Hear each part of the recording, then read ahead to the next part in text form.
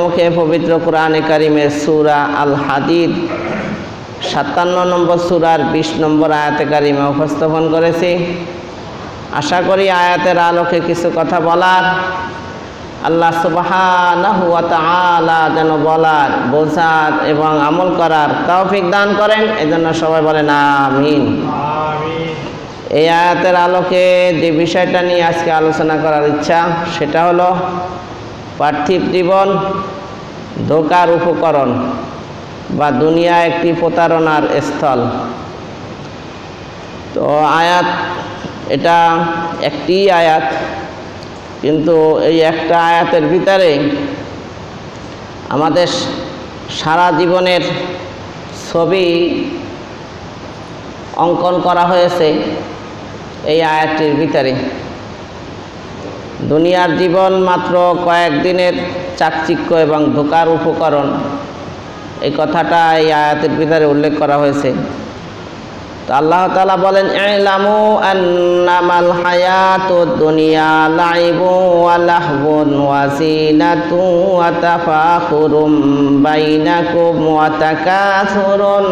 Feel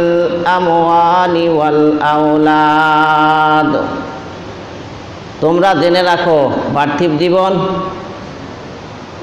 খেলাধুলা ক্রীড়া কৌতুক সাজসজ্জা, পারস্পরিক অহমিকা এবং ধন ও জনের প্রাচুর্য ব্যতীত আর কিছুই নয়। তো এই আয়াতে খুব সংক্ষিপ্তভাবে, অথচ সামগ্রিকভাবে আল্লাহ তালা আমাদের পুরো জীবনকে ছবির মতো চিত্রিত করেছেন। কয়েকটা দিক উল্লেখ করেছেন। এক নম্বরে হলো আমাদের জীবন শুরু হয় শিশু বয়স থেকে। শিশুর জন্য সবচেয়ে গুরুত্বপূর্ণ কাজ হলো খেলাধুলা করা। তো আমাদের জীবনের শুরু হয় কি দিয়া? খেলাধুলা। কিন্তু এই খেলা কোন খেলা? লাইবুন বলা হয়েছে। লাইবুন মানে যে খেলার ভিতরে কোনো বিনোদন নাই চিত্ত আকর্ষণ নাই। এমনিতেই খেলাধুলা, হাত পা নাড়াছাড়া করা। এটার ভিতরেই শিশু বাচ্চারা কী পারে? যখন হামাগুড়ি দিয়ে চলে, ওই কাতুকুতু দিলে, একটু হাত পা নাড়াইলে, কিছু একটা ফেলাই দিলে, ওইটা উঠাইয়া রাখলে ও আবার ফেলে দেয়। ও এর ভিতরে একটা আনন্দ পায়, এইটাই একটা খেলা। যে খেলার কোনো কি নাই। মানে বিনোদনমূলক না। এটা ছোটোকালের স্বভাব সুলভ এক ধরনের খেলা। ওটাকে লাইবুন বলা হয়। তো দ্বিতীয় নম্বরে হলো আপনার একটু বড় হয়ে আমরা নিজেদেরকে বিনোদন, আমোদ, প্রমোদে ব্যস্ত ব্যস্ত রাখি। যখন একটু বড় হয়, বয়স সাত আট বছর হয়ে যায়, তখন কিন্তু ছোটোকালে যে চাহিদা ছিল, খাওয়া, ঘুম যাওয়া এটা বাচ্চাদের চাহিদা। এখনও বিনোদনমূলক কাজে জড়াই গেছে। এখনও খেলাধুলা ছাড়া কিছু বোঝে না। ওর মা ওকে খেলার থেকে ধরে আইনে খাওয়াইতে হয়। যেটা ছোটোকালে ছিল আর মুখ্য উদ্দেশ্য টার্গেট সেইটা এখনও আর টার্গেট নাই। এখনও ওর টার্গেট হয়ে গেছে কি? বিনোদনমূলক চিত্ত আকর্ষণ, খেলাধুলা, যেটা এই যে ভিডিও গেম এই ভিডিও গেমসের মাধ্যমেও কি করে বাচ্চারা? এই বিনোদনমূলক খেলাধুলা করে। ওখানে এই বয়সটায় পুষলে মানুষ গল্প শুনতে চায়। বিভিন্ন রকমের এই ঘটনাবলী জানতে চায়। তো ওই টাইমটা পার হয়ে গেলে যখন আর একটু বড় হয়, যৌবনে পদার্পণ করে তখন আর ওই খেলাধুলার চাইতে বেশি জীবনের টার্গেট হয়ে যায়। সৌন্দর্য ঘটা, ব্যক্তিত্ব, এগুলা নিয়েই তখন ব্যস্ত থাকে। একটু বড় হয়ে গেলে তখন গ্লাসের সামনে শুধু খালি চেহারা দেখতে থাকে। মেসিং কইরা চলতে চায়। শার্ট, প্যান্ট, জুতা, মোজা, ব্যাসলাইট, ঘড়ি, চশমা। তখন সে চায় কি একটু নিজেকে যাতে পরিপাটি করিয়া একটু সুন্দরভাবে চলতে পারে, যাতে অন্যরাও তাকে ভালো মনে করে। তো প্রথম জীবনে ছিল শুধু খাওয়া, ঘুমানো, পরে হয়ে গেল শুধু খেলা আর খেলা। এরপরে শুধু হয়ে গেল সৌন্দর্যর প্রতি যোগ প্রবণতা। এরপরে যখন লেখাপড়া শেষ করে বা লেখাপড়া চলমান থাকে তখন বিভিন্ন ডিগ্রি, ভালো কলেজে, ভালো ইউনিভার্সিটিতে, ভালো বিশ্ববিদ্যালয়ে ভর্তি হওয়ার চিন্তা চেতনা বা পড়ালেখা শেষ হয়ে গেলে ভালো একটা প্রতিষ্ঠানে জব করা বা ভালো একটা প্রতিষ্ঠানের মালিক হওয়া এরকম একটা টার্গেট তার ভিতরে কি কাজ করে। এই সময় ভালো একটা প্রতিষ্ঠানে সে জব করতে পারলে তখন তার আইডি কার্ড সে বুকের উপরে ঝুলাইয়া রাখে দেখায় যে আমি অমুক অফিসে জব করি বা অমুক ভার্সিটিতে আমি লেখাপড়া করি। তখন হয়ে যায় কি যে সে বিভিন্নভাবে যাতে বেশি অর্থ উপার্জন করতে পারে ওরকম একটা তার টার্গেট হয়ে যায়। তখন কিন্তু ওই প্যান্ট ছেঁড়া থাকলেও আর চিন্তা থাকে না, তখন অর্থ উপার্জনই তার মুখ্য হয়ে যায়। সৌন্দর্য থেকে একদম আগাইয়া গেছে। এখন আর সে সৌন্দর্যের তেমন গুরুত্ব দিচ্ছে না। এই জন্য যারা বিশ্ববিদ্যালয়ে যারা পড়ালেখা করে, ওদের ড্রেস আর স্কুল কলেজের ড্রেস কিনা এক না। ওই সময় ওদের ড্রেস মুখ্য উদ্দেশ্য থাকে না। ওরা তখন এত চিরুনি করার আর আয়না দেখার সময় কি তাদের জীবনে থাকে না।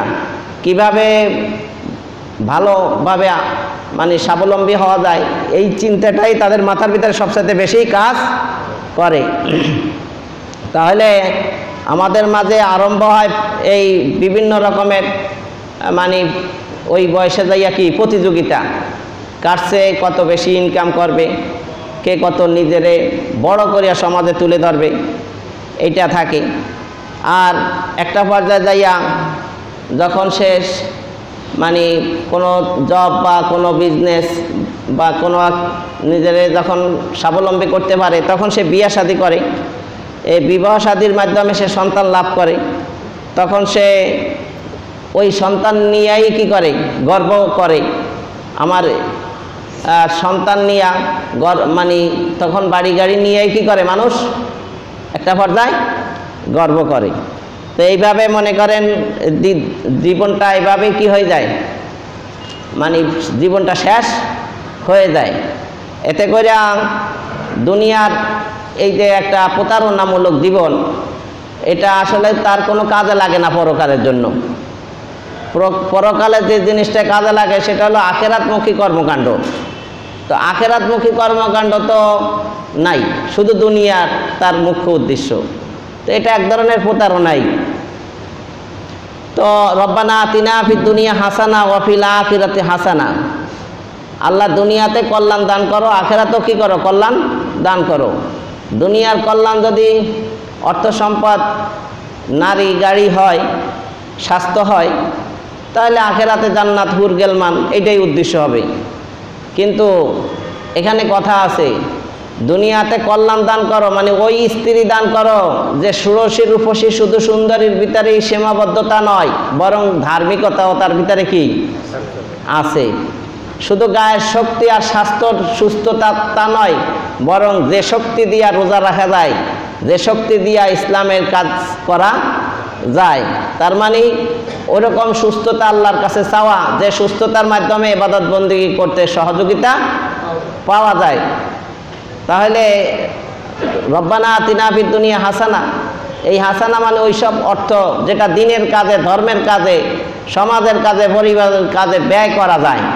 শুধু অর্থ উপার্জন করা, ব্যাংক ব্যালেন্স করা, আর বড় গাড়ি মানে ভালো দামি গাড়ি বা বাড়ির মালিক হওয়াটাই মূল উদ্দেশ্য না। তো আল্লাহ রাব্বুল আলমিন এই আয়াতের ভিতরে মোটামুটিভাবে আমাদের জীবনের যে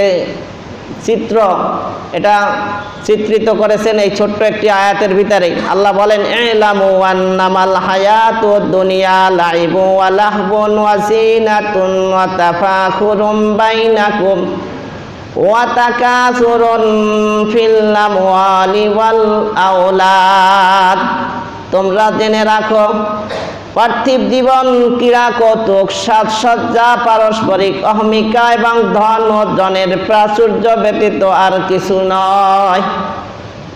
এটার একটা উদাহরণও আল্লাহ দিছেন। উদাহরণটা আল্লাহ বলতেছেন, আমাদের জীবনের সাথে এই উদাহরণের সম্পূর্ণ কি? মিল? আল্লাহ বলেন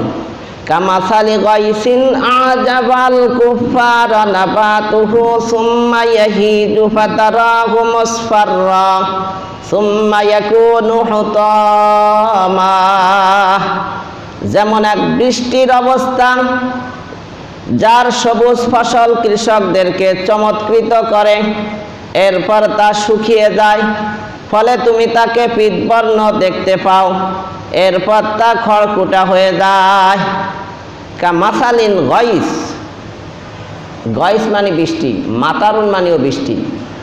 কিন্তু মাতার তো সমানে বৃষ্টি, আর গয়সিন মানে উপকারী বৃষ্টি।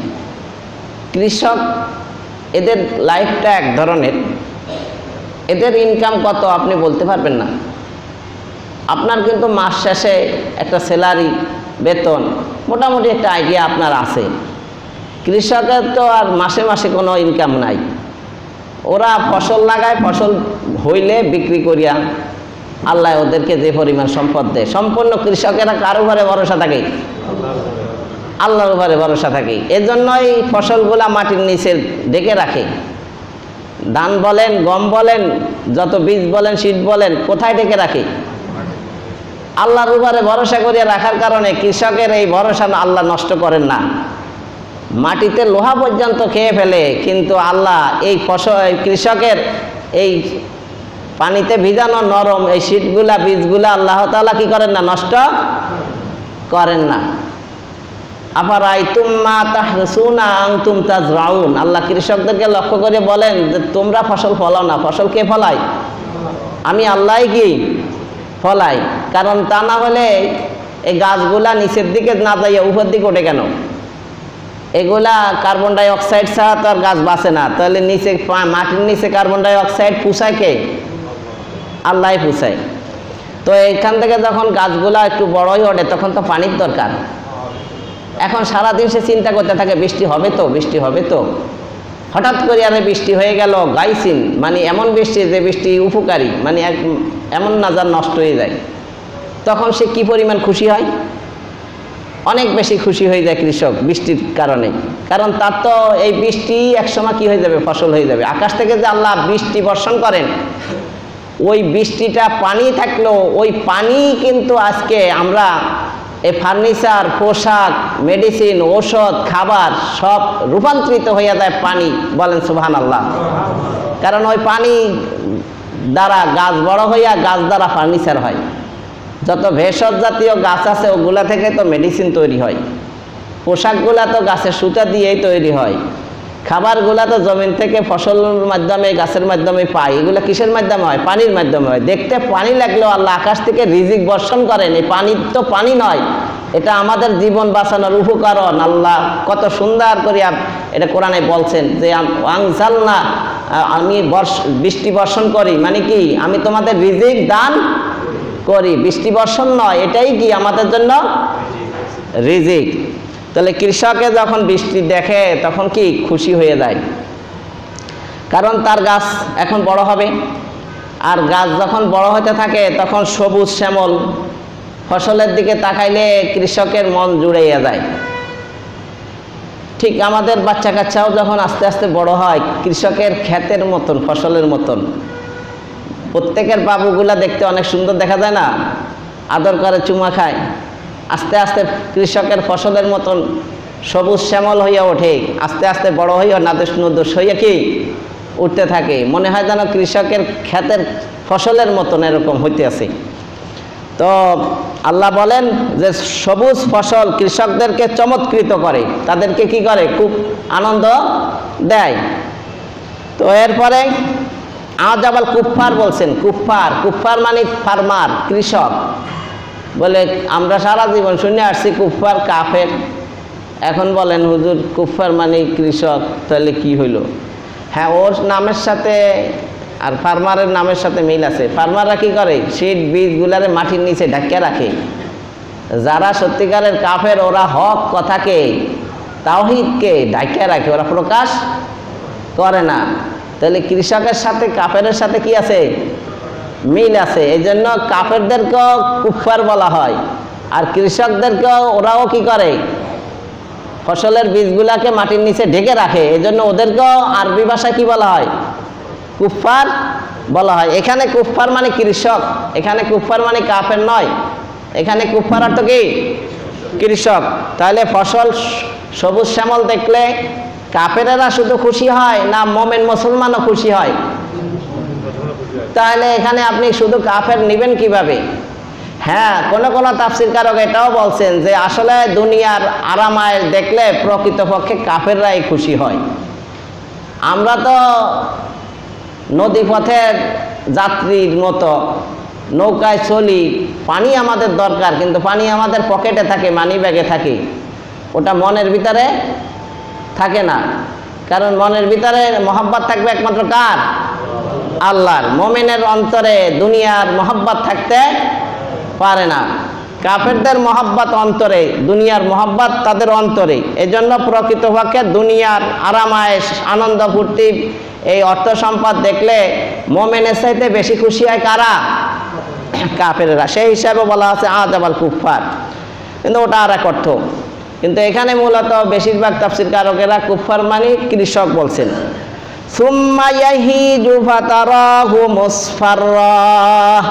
এরপর তা শুকিয়ে যায়।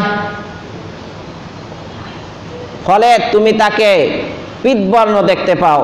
ফাতারাহু মুসফাররা। তাকে তুমি হলুদ বর্ণ দেখতে পাও। কৃষক এখানে শুধু ধান আর গম বলতে না, সব গাছ গাছালি যা আছে সবই তো একটা পর্যায়ে যাইয়া শুকিয়ে যায়। গাছের ডাল শুকিয়ে যায় না, গাছও তো রং কি আর সবুজ থাকে? সবই তো এরকম এক- একটা পর্যায়ে হলুদ বর্ণ ধারণ করে। সুম্মা ইয়াকুনু হুতামা এরপর তা খড়কুটা হয়ে যায়।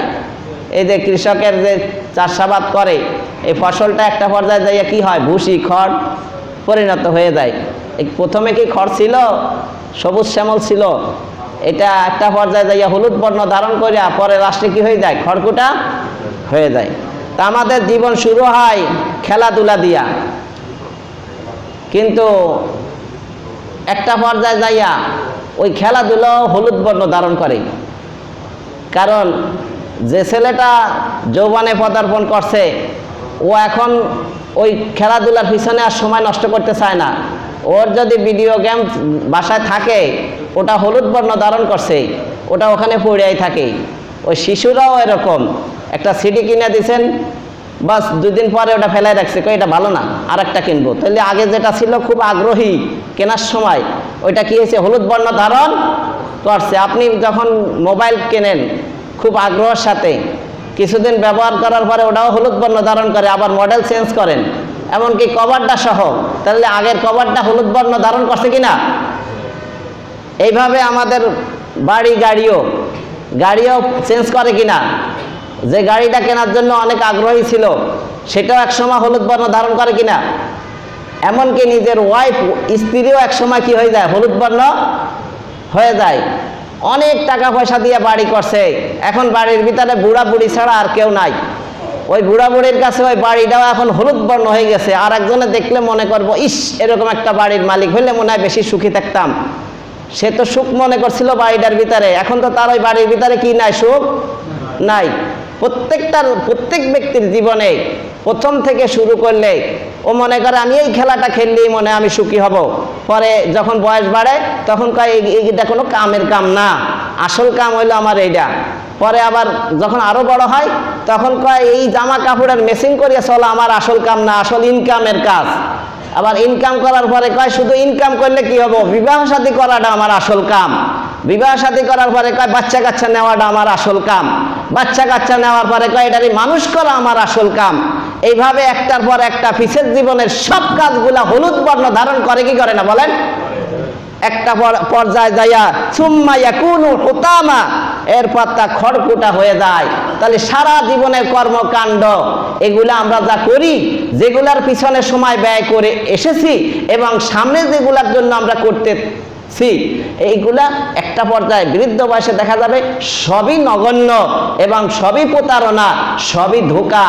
এই জন্য আল্লাহ তালা আয়াতের শেষে বলেন ওমাল হায়াত দুনিয়া ইল্লা মাতাউল গুরুর। আর এই জীবনটা, দুনিয়ার জীবনটা একমাত্র প্রতারণা ছাড়া আর কিছুই কি নয়।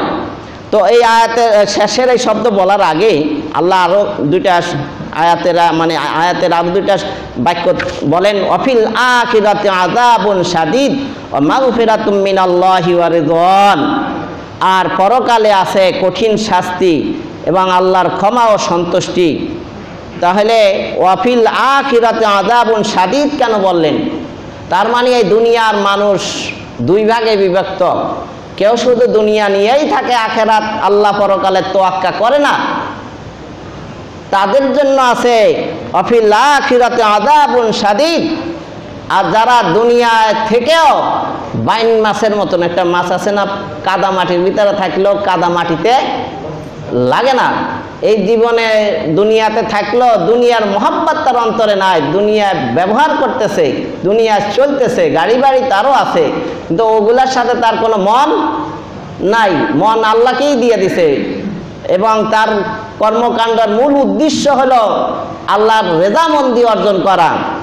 মাগফিরাতুম মিনাল্লাহ, এদের জন্য রয়েছে ক্ষমা, আর যাদের জন্য থাকবে ক্ষমা তারাই পাবে জান্নাত, আর যারা পাবে জান্নাত, তাদের সুখ শান্তি দুনিয়ার এই আরাম আরামায়েশের চাইতে। এটার কোনো পার্সেন্টেজ দিলে হবে না যে হাজার গুণ বেশি, বরং কত যে বেশি এটা বলা যাবে না। আখেরাতের সুখ শান্তির সাথে দুনিয়ার সুখ শান্তির তুলনামূলক বিশ্লেষণ করে শেষ করা যাবে না।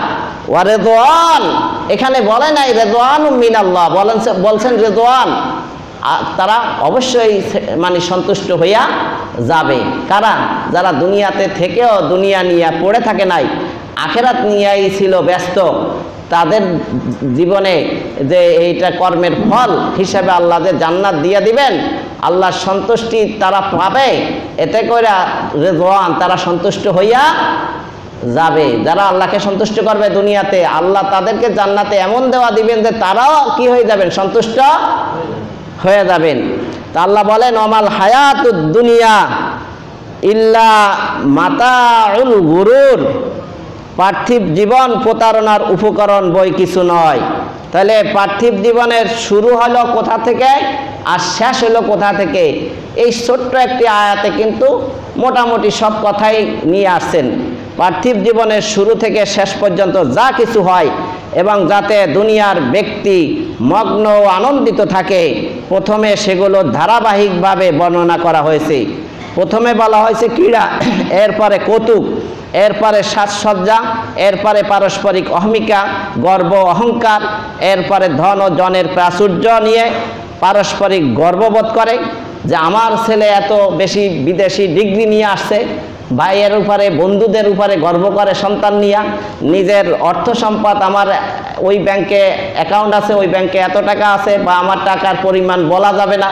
হ্যাঁ মানে অনেক বেশি। বা ঢাকা, ধানমন্ডি, দশতলা বাড়ির মালিক আমি, এরকম নিয়ে অনেকের সামনে কি করে? গর্ববোধ করে। তাহলে এটাও একটা পর্যায়। তাহলে আল্লাহ তালা প্রথম শুরু করছেন লাইবন দিয়ে এমন খেলা যাতে মোটেই উপকার লক্ষ্য থাকে না। যেমন কচি শিশুদের অঙ্গ চালনা। আর একটা হলো লাহবুন এমন খেলাধুলা যার আসল লক্ষ্য চিত্ত বিনোদন ও সময় ক্ষেপণ। হলেও প্রসঙ্গক্রমে ব্যায়াম অথবা অন্য কোনো উপকারও অর্জিত হয়ে যায়। ওটারে বলে লাহবুন। তাহলে এক জীবনের শুরু হয় লাইবুন দিয়া ওই লাইবনের পরে আর একটা পর্যায়ে যাইয়া পৌঁছে লাহবুন। যারা হামাগুড়ি দিয়ে চলে, ওরা কিন্তু লাহবুন করতে পারে না, ওরা লাইবুন করে। ওরা হাত পা নাড়াচাড়া করে, কাতুকুতু দিলে আনন্দ পায়। কোনো কিছু ফেলে দিলে আপনি উঠাই রাখলেও আবার ফেলে, আবার উঠাইলে আবার ফেলে, আবার উঠে, ফেলে দিলে উঠাইলে আবার ফেলে। এটার ভিতরে সে কি পায়? আনন্দ পায়। আল্লাহ বোন হলো যেগুলা কিছু উপকারও আছে শারীর শরীর চর্চা দৌড় ঝাঁপ দেওয়া, ফুটবল খেলা, ক্রিকেট খেলা এইসব খেলার ভিতরে কিছু শরীর চর্চারও কি আছে? ব্যবস্থা আছে। তাহলে একটা পর্যায়ে ওইটাই মানুষ করে। তারপরে যাইয়া অঙ্গসজ্জা, পোশাক ইত্যাদির মোহ সর্বজন বিদিত। একটা পর্যায়ে যাইয়া তখন মানুষ ম্যাচিং করে করে চলে। পোশাক আশাকের সৌন্দর্য বর্ধিত করার চিন্তাভাবনা মাথার ভিতরে ঢুকে পড়ে। আচ্ছা তারপরে প্রত্যেক মানুষের জীবনের প্রথম অংশ ক্রীড়া লাইবনের মধ্য দিয়ে অতিবাহিত হয়। এরপর লাহবন শুরু হয়, এরপর সে অঙ্গ সজ্জায় ব্যাপৃত হয় এবং শেষ বয়সে সমসাময়িক ও সমবয়সীদের সাথে প্রতিযোগিতার প্রতিযোগিতার প্রেরণা সৃষ্টি হয়। শেষ বয়সের লোকগুলা খালি দেখে, বন্ধু, তোমার ছেলে মেয়ে কয়জন? তোমার বাড়ি গাড়ি কি? জানতে চাই তখন আসলে জানতে চাওয়া উদ্দেশ্য না। উদ্দেশ্য হলো সে যে তার ছেলে এরকম মানুষ করছে, তার যে বাড়ি গাড়ি আছে, এইটা আবার পরবর্তীতে তাকে বলবে। এই বলার উদ্দেশ্যেই সে কি করে? কথা স্টার্ট দেয়। তার মানে নিজের ফাউকিয়াত নিজের মানে সম্পত্তি বা নিজের অর্থ সম্পদের একটা বিশ্লেষণ অন্যের কাছে তুলে ধরার জন্যই এরকম করে। যেমন আমাদের হুজুরি বলতো কয়েক লোক তিনবার হজ করছে। তো হজ করছে প্রতি বছর সে হজ করে আসার পরে একটা নতুন বদনা বা ওই একটা ঘটি কেনে, গ্রামগার মানুষ তো পুকুরে যাইয়া হাত পা ধোয়া লাগে এই জন্য পানি এনে রাখে। জন্য মেহমান আসলে আর পুকুরে যাইতে না আসে, না লাগে। এই জন্য এক মেহমান আসছে আর আমার মধ্যম হজের কত্তিটা বা বদনিটা নিয়ে আসো তো। আচ্ছা মধ্যম হজের যখন বলে মেহমানের সামনে, মেহমানে কি বোঝায়? হজ কয়বার করছে? দুইবার না তিনবার বুঝায় মধ্যম বলছে না? আচ্ছা এই মধ্যম হজের কর্তৃবদনি ঘটি এগুলা আর বলার কোনো প্রয়োজন আছে? উদ্দেশ্য হলো যে সে যে তিনবার হজ করছে, এ গর্ব করা। তাহলে একটা পর্যায়ে মানুষ বয়স বেড়ে গেলে এরকম কি করে? বন্ধু বান্ধবের সাথে কি করে? গর্ব করতে থাকে। তাহলে বোঝা গেল যে আমাদের অবস্থা বালক বালিকারা যে খেলাধুলাকে জীবনের মানে সর্ব অপেক্ষা মূল্যবান সম্পদ ও সর্ব অপেক্ষা আকর্ষণীয় ধন মনে করে একটা কালে। বুড়াকালে যে মানুষ ওই গর্বটা করে, ওই বাচ্চাকালের গর্ব যেমন তুচ্ছ বৃদ্ধকালের গর্বটাও তেমন কি তুচ্ছ। তার মানে পুরা লাইফটাই একটা ছলনা, প্রতারণা, ধোকা ছাড়া আর কিছুই কি না, তাহলে আমরা কি পাইলাম? দুনিয়ার সম্পর্কে বুঝতে পারলাম যে আমাদের জীবনের বিভিন্ন পর্যায়ে আছে। আমরা এখন বর্তমানে প্রত্যেকে নিজেকে নিজে আত্মজিজ্ঞাসা করি, আমি এখন কোন পর্যায়ে আছি? সবার বয়স তো আর এক না। সুতরাং, শুরু হয় কি দিয়া? খেলাধুলা, কৌতুক, তারপরে কি? আপনার সাজসজ্জা, তারপরে বিনোদন বিনোদনমূলক খেলাধুলা, তারপর সাজসজ্জা, এরপরে কি অর্থ সম্পদের গর্ব, তার ছেলে মেয়ে নিয়ে কি করা? গর্ব করা। তাহলে একটা পর্যায়ে গেছে। এই যে দুনিয়াটা, এটার একটা উদাহরণ আল্লাহ তাআলা কোরআনের ভিতরে দিয়েছেন দুনিয়াটা কেমন? আল্লাহ তাআলা সূরায় কাহাব আঠারো নম্বর সুরার পাঁচচল্লিশ নম্বর আয়াতে বলেন দুনিয়া কামাইন। তাদের কাছে পার্থিব জীবনের উপমা বর্ণনা করুন, তা পানির ন্যায়। এই দুনিয়াটা কিসের মতন? পানির মতন। সুরায় কাহাব আঠারো নম্বর সুরার পাঁচচল্লিশ নম্বর আয়াতে আল্লাহ দুনিয়ার দৃষ্টান্ত দিয়া বুঝাইতে গিয়া বলেন যে দুনিয়াটা পানির মতো। তো কেমন হইল? এখন ব্যাখ্যা লাগবে না? আর কোরআন যদি খালি অর্থ পড়লেই বুঝেন, তো এখন কোন পানির মতো কি হয়েছে এখন পানির মতো? পানির মতো সহজ, এত সহজ দুনিয়াটা। তো কি, পানির মতো কি? পানি যেমন বেশি প্রয়োজন, এরম দরকার বেশি। কোনটা? কামাইন। কয় যে পানি এক হালাতে থাকে না। ও, আপনি সমান সমান টেবিলের উপরেও পানি ছেড়ে দিলেও পানি বিভিন্ন জায়গার ভিতরে ঘোরে, বিভিন্ন জায়গায় বিভিন্ন অবস্থায় পৌঁছে। ঠিক দুনিয়ায় মানুষ এক জায়গায় থাকে না। কাম না থাকলেও বিভিন্ন জায়গায় ঘোরাঘুরি করে। এটার ভিতরে অভ্যাস থাকে। মানুষের হালাত পরিবর্তন হয়। এক সময় গরিব এক সময় ধনী এক সময় সুস্থ এক সময় অসুস্থ এক সময় সুখী এক সময় দুঃখী এক সময় করুণায় আক্রান্ত হয় পজিটিভ আর এক সময় নেগেটিভ কি? এক সময় পরিবার মানে হালাত কি হয়? এক এক সময় এক এক রকম হয়। তাহলে পানির হালাত যেমন পরিবর্তন হয়, মানুষের হালাতও কি হয়? পরিবর্তন হয়। এরপরে পানিতে যতটুক নামবেন ততটুক ভিজবে। এ তো পুরানা কথা, নাকি? তার মানে দুনিয়াতে আপনি যদি শুধু দুনিয়া নিয়েই থাকেন, ব্যবসা, বাণিজ্য, চাকরি, বাকরি, তাহলে মনে করবেন আপনার দুনিয়ায় দর্শে জড়াইয়া। নামাজের খবর নাই, এবাদত বন্দীগীর খবর নাই। জাকাত ফিতরা দেয় না, হজ করে না। মানে অর্থ ক্ষয় বা ব্যয় হবে এমন কোনো কাজ সে করে না। তারে দুনিয়ায় এমনভাবে দশে পানিতে নামলে যেমন তার জামা কাপড় সব ভিজাইয়ে ফেলায়, ও দুনিয়াতে ঢুকে আর দুনিয়ায় ওরে এমনভাবে দশে যে ওরে ভিজাইয়ে ফেলছে। মানে দুনিয়া নামক পানি ওকে ওর সব কিছু কি ফেলছে? ভিজাইয়া ফেলছে। তারপরে পানি তো পানি, অপার নাম প্রাণ না জীবন, নাকি? কিন্তু বেশি হয়ে গেলে কি অবস্থা হয়? আর জলোচ্ছ্বাস হইলে কৃষকের ফসল ঠিক থাকে, বাড়িঘর ঠিক থাকে, পানির তুফান শুরু হয়ে গেলে তাহলে জীবন নাশ হয়ে যায় না। তাহলে পানির অপার নাম জীবন না তখন মরণ? কখন মরণ? পানির পরিমাণটা বেশি হয়ে গেলেই কি? মরণ। তাহলে দুনিয়া ঠিক আছে, পানির মতো প্রয়োজনে ব্যবহার করবেন, কিন্তু দুনিয়া যদি বেশি অর্জন করে ফেলেন কারণের মতো, তাহলে কি অবস্থা হবে? ওই অর্থই আপনাকে সর্বনাশা আপনার জীবনে ডেকে আনবে এই পানি। তারপরে মনে করেন পানিও পাক না পাকের ব্যাপার আছে। পানি পাক হয়, না পাকও তো হয়। অনেকের অর্থ সম্পদ পাক পবিত্র নাই, ওগুলা কি? না পাক। চল্লিশ ভাগের এক ভাগ জাকাত দিতে হয়। ওই জাকাত না দিলে ওই সম্পত্তি পুরাটাই নাপাক হইয়া থাকে। পানি যেমন নাপাক হয়, পানির রং আছে গ্রান আছে পানির তরলতা আছে। ওরকম অর্থেরও আছে। আর পানির এই তরলতা বোঝার জন্য উজু করার আগে আগে হাতে নিবেন। তারপরে মুখে দিয়ে মজা বুঝবেন যে সত্যিকারের পানির টেস্ট আছে কিনা না, অন্য কোনো টেস্ট ঢুকছে। এরপরে নাকে নিয়ে আপনি কি করবেন? নাকে পানি দিয়ে বুঝবেন যে পানির গ্রান ঠিক আছে কিনা। তারপরে যখন বুঝতে পারবেন পানিটা পাক ঠিক আছে, তরলতা ঠিক আছে গ্রান ঠিক আছে, সব ঠিক আছে, তখন মুখমণ্ডল দ্রুত করবেন। আল্লাহ যেটা অর্ডার দিয়ে দিচ্ছেন বলে সোভান আল্লাহ তাহলে এভাবে আল্লাহ তালা বলেন, আল মাল ওয়াল বানুনা জিনাতুল হায়াতি দুনিয়া। এটা সুরায় কাহাব আঠারো নম্বর সুরা ছচল্লিশ নম্বর আয়াত আল্লাহ বলেন, ধন ঐশ্বর্য, সন্তান সন্ততি, পার্থিব জীবনের সৌন্দর্য, দুনিয়ার সৌন্দর্য কিসের দ্বারা? মাল আর সন্তান দ্বারা। অনেক সময় বিপদে পড়লে সন্তান ভালো মানে পোস্টে ভালো পদে চাকরি করলে ওই হ্যালো কইয়া সন্তানের কাছে টেলিফোন করলেই যাবতীয় ব্যবস্থা সন্তানই করে, বাবার আর কিছু করার দরকার নাই। আর টাকা পয়সা বেশি থাকলে সব ব্যবস্থা বাবাও করতে পারে, তখন আর সন্তানও লাগে না। তাহলে দুনিয়ার সব যায় জামেলা সন্তান দিয়া, সম্পদ দিয়া হয়, কিন্তু আখেরাতে সন্তানও কোনো কাজে লাগবে না, সম্পদও কোনো কাজে লাগবে না।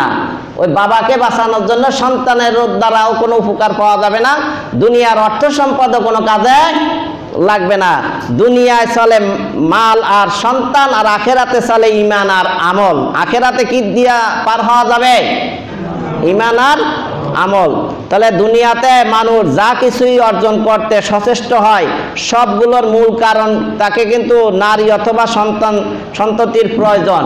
কারণ এই দুনিয়ার সৌন্দর্য আপনার সন্তান এবং অন্য আয়াতে আছে জুইয়েন আলীন নাসে হুব্বু শাহওয়াতে মিনা নিসাই ওয়াল বানিনা। এটা সুরে আল ইমরানের ভিতরে আসছে যে আসল এই দুনিয়ার যত কাজ কাম এর মূল টার্গেটই হলো নারী সন্তান। কারণ আপনারা যারা ঢাকা শহর আসছেন গ্রাম বাড়ি দেশের দেশ ছাইড়া, উদ্দেশ্য কিছু অর্থ উপার্জন করে নিয়ে একটু তাদের প্রয়োজন মিটাবেন। এই তো? অথবা যারা অবিবাহিত আছে এরা বিবাহ করবে। তাহলে আর যারা বিবাহ করছে তারা একটা ভালো শাড়ি নিয়ে যাবে, স্ত্রীর জন্য বা ভালো কিছু একটা নিয়ে যাবে। তাহলে উদ্দেশ্য কি? এই ডিউটি পালন করা, এত মানে পরিশ্রম করা, ঘাম ঝরা পরিশ্রম করার মূল উদ্দেশ্য হলো স্ত্রী আর সন্তানের জন্যই সব কিছু করা। এই দুনিয়ার যাবতীয় কর্মকাণ্ডের মূল টার্গেট আর লক্ষ্যই হলো কি? স্ত্রী, নারী আর সন্তান। তাহলে আমরা বুঝতে পারলাম যে আমাদেরও দরকার আছে, কিন্তু কতটুকু? নৌকা চলতে যেমন পানির দরকার ওরকম দুনিয়ায় চলতে হলেও অর্থ সম্পদ দরকার। কিন্তু নৌকার তলায় যেমন পানি থাকলে নৌকা চলায় সহায়ক হয়, নৌকার ভিতরে পানি ঢুকলে নৌকা ডুবে দেওয়া, এটা নিশ্চয়, নিশ্চিত। ঠিক যার অন্তরের ভিতরে মহাব্বাত ঢুকে পড়বে, পকেটে আর মানি ব্যাগের থেকে ব্যাংক ব্যাংকে টাকা থাকলে দোষ নাই। কিন্তু মনের ভিতরে খালি স্টেটমেন্ট আনে আর গনে আর হিসাব করে আর কত হলে আর কত হওয়া যায়। কোটিপতি বা লাখপতি আগে তো লাখপতি, এখন লাখপতির কোনো দাম নাই। কোটিপতি হওয়ার মানে স্বপ্ন, আর কত টাকা হইলে কোটিপতি হওয়া যাবে? তাহলে তার টাকা কি ব্যাংকে আছে না তার মনের ভিতরে আছে? আর এখন তো অ্যাপস বাড়াই গেছে। শুয়ে শুয়ে খালি দেখে। সব ঠিক আছে তো? টাকা